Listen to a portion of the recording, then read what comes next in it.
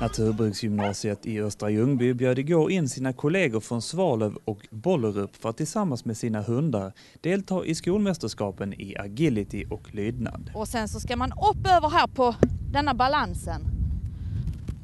Och då gäller det inte att ramla ner. Det är för att eh, öka samarbetet mellan de olika skolorna och vi har ju samma intresse i hundarna och eh, ja, vi tycker det är en rolig grej. Eh, det är faktiskt väldigt roligt för då blir det att fler kommer hit och alla får något att göra en hel dag tillsammans. Sandra Larsson och hunden Pepsi har sysslat med agility i cirka ett års tid. Det är fartfyllt, det är roligt och man får göra något tillsammans med hunden. Och hur gillar Pepsi det här då? Han tycker det är rätt roligt. Efter att ha klarat av lydnadsdelen är det dags för besiktning av banan. Sen gäller det att tagga upp inför starten.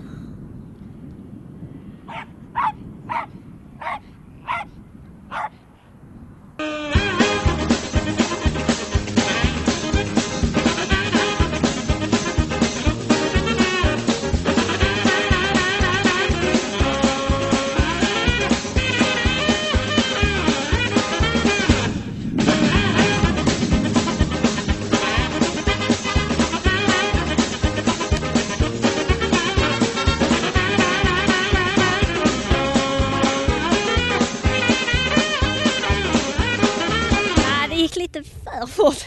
Jag gick inte riktigt styra han. Vad, vad innebär det när det går för fort? Vad, vad blir det för problem då?